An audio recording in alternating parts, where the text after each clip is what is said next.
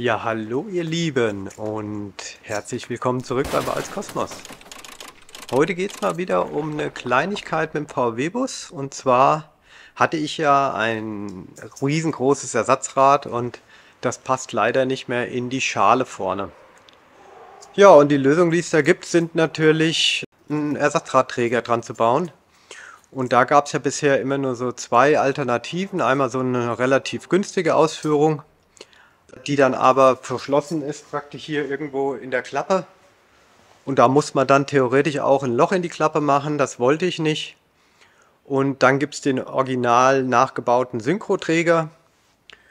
Hm, der hat mir aber auch nicht so gut gefallen. Also A ist der natürlich relativ teuer und B finde ich es nicht so gut, wenn seitlich am Fahrzeug Löcher gebohrt werden. Ja, und da gab es halt jetzt so einen neuen Träger und den habe ich mir mal bestellt. Und da schauen wir uns gleich mal an, wie der ausschaut, welche Einzelteile das sind und dann wird er natürlich auch montiert, weil das Ersatzrad soll ja wieder drauf. Wie ihr wisst, war ja hier vorher das Reserverad auf Paulchen drauf. Das ist aber nicht so toll. Ich hatte zwar verstärkte Gasdruckfedern für die Heckklappe, also mit, glaube mit 800 Newtonmeter anstelle von 600, aber die Klappe blieb trotzdem nicht zwangsläufig immer oben. Erstens und zweitens ist das ja auch nicht gut für die Scharniere und alles von der Tür. Das Rad wiegt irgendwie auch so, was weiß ich, 15 bis 20 Kilo.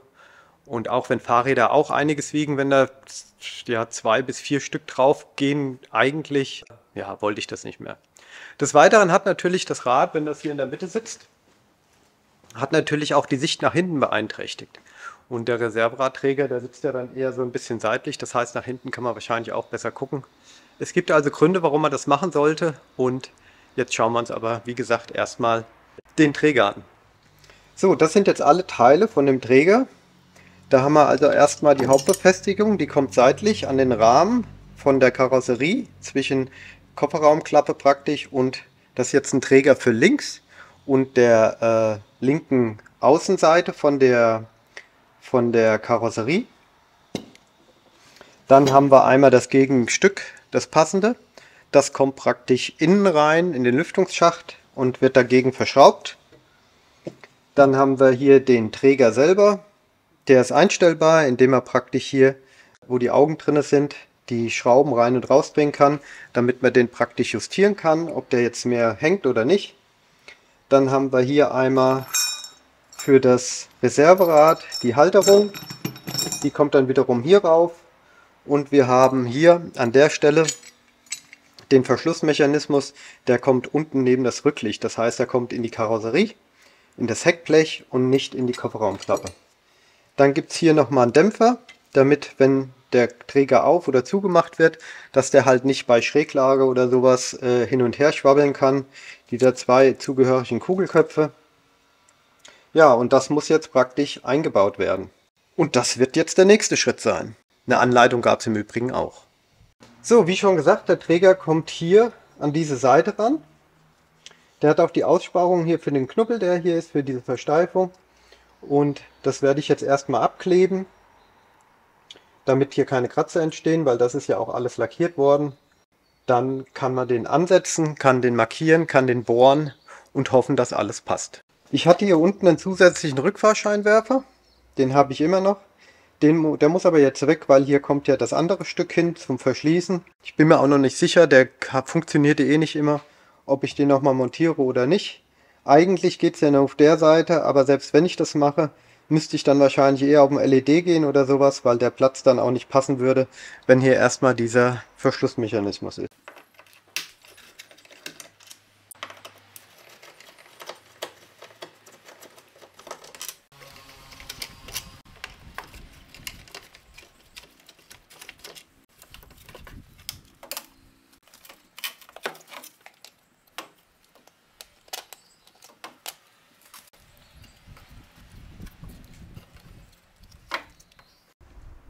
So, ich habe jetzt das Kabel hier abgemacht. Das war da dran mit einem, ich glaube, das nennt man einen Stromdieb.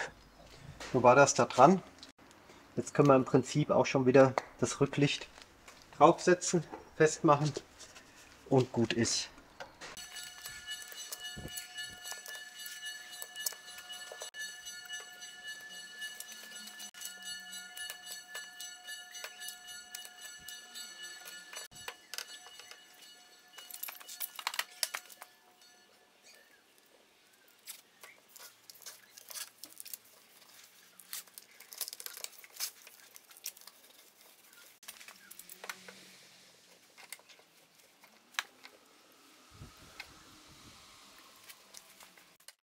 Ja, wie ihr sehen könnt, ich habe jetzt hier die Löcher markiert gehabt, also hier abgeklebt, markiert, gebohrt und jetzt wieder versiegelt.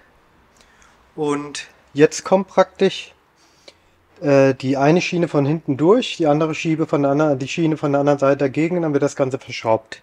Ja, und das Ganze geht halt hier durch den Lüftungsschacht hier rein. Und dann musste ich auch noch hier dieses Teil, das ist die Luftansaugung, von, dem hochgelegten, von der hochgelegten Luftansaugung muss ich noch wegmachen und das ist die Schiene, die jetzt von der Rückseite reinkommt und die verschraubt werden muss.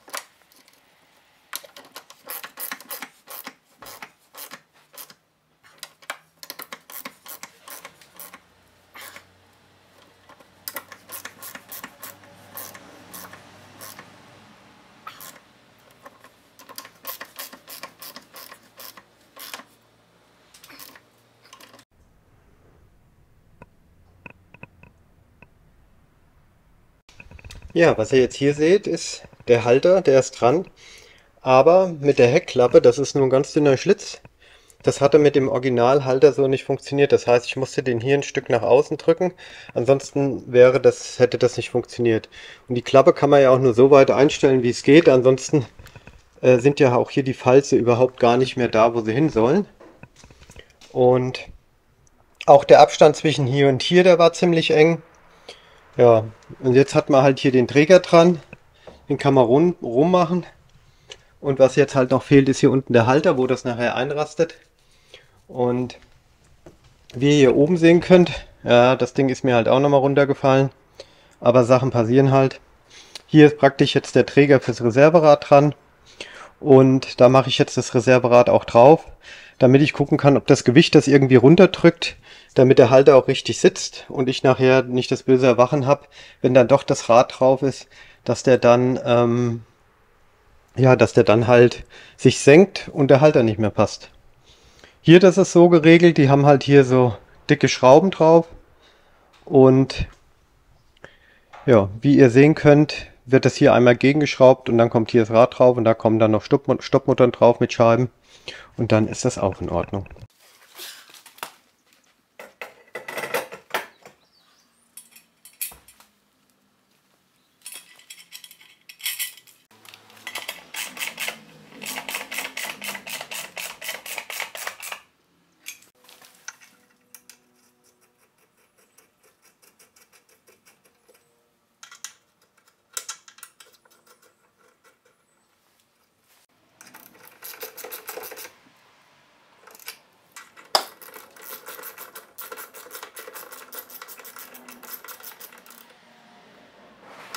So, das ist jetzt der untere Halter. Da sind auch wieder vier Löcher gebohrt worden. Und von der Hinterseite im Motorraum ist dann noch eine Platte dagegen. Das wird alles verschraubt. Und jetzt muss es nur noch funktionieren. Das letzte i-Tüpfelchen ist jetzt noch der Dämpfer. Dazu ist hier sind zwei Kugelköpfe eingeschraubt. Und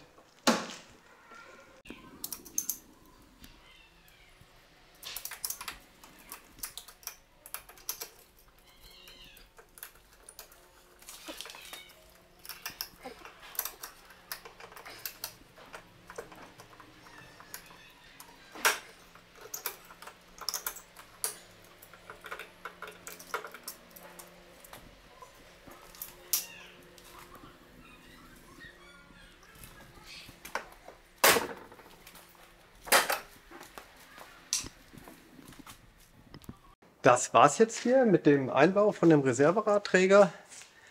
War ein bisschen nervenaufreibend bei gewissen Aktivitäten. So zehn Löcher in ein Auto bohren macht auch nicht immer Spaß. Aber es ist geschafft und das Rad sitzt deutlich besser als vorher auf dem Paulchen hier in der Mitte, wo man auch durch den Rückspiegel nichts mehr gesehen hat. Von daher bin ich alles in allem sehr zufrieden. Das sollte jetzt auch keine Einbauanleitung sein, sondern einfach ein bisschen Dokumentation, habt ihr ja gemerkt. Und äh, bei manchen Sachen, wo ich selber hier unter Strom stand, hatte ich dann auch keine Lust zu filmen, weil dann will man ja auch endlich das Knifflige hinbekommen. Ja, dann äh, hoffe ich, dass es euch gefallen hat und wir sehen uns demnächst. Ciao. So, jetzt habe ich schon ein bisschen Praxiserfahrung mit dem Träger. Und ich kann euch so ein paar Kleinigkeiten noch zeigen. Eine Sache, die ich noch gemacht habe, ist, hier hinten sind zwei Löcher drin. Äh, je nachdem, ob man das Rad nur so stehen haben möchte oder äh, 180 Grad, also 90 Grad oder 180 Grad, kann man dann praktisch hier eine Stange reinschrauben. Äh, in meinem Fall ist das einfach nur ein Gewindebolzen ich wollte den nicht komplett aufgehen lassen. Wenn man das nicht macht, dann äh, kommt das Rad bis an die Karosserie. Das wollte ich nicht. Und dann wollte ich auch noch zeigen, hier, seht ihr schon, also der, das ist, ist noch nicht lang, dass der Träger drauf ist und wir haben hier, ich meine hier ist ein Lager zwischen, also zwischen hier und hier ist ein Lager, aber trotzdem die Kugel, die da drin ist, die sieht auf beiden Seiten schon ein bisschen rostig aus. Ja. Ansonsten hat er sich nicht gesenkt oder irgendwas, der Träger, und funktioniert soweit recht gut.